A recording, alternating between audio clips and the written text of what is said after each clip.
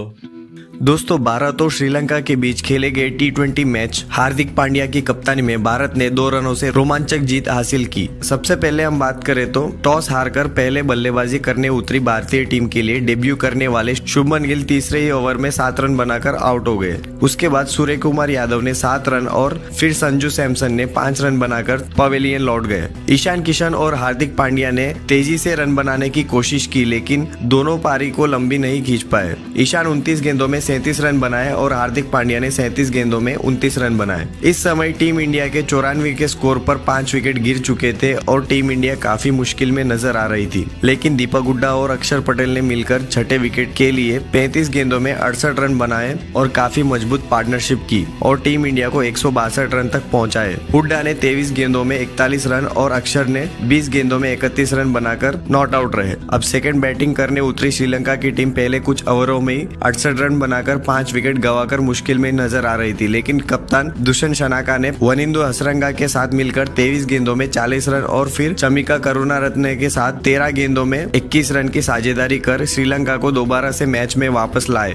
वही आखिरी में करुणा रत्ना ने कसुन रजिता के साथ एक अहम साझेदारी की और मैच को रोमांचक बनाए। श्रीलंका की तरफ़ से शनाका ने तेईस गेंदों में सबसे अधिक पैतालीस रन बनाए, जबकि करुणा रत्ना ने सोलह गेंदों में तेईस रन बनाकर नाबाद रहे।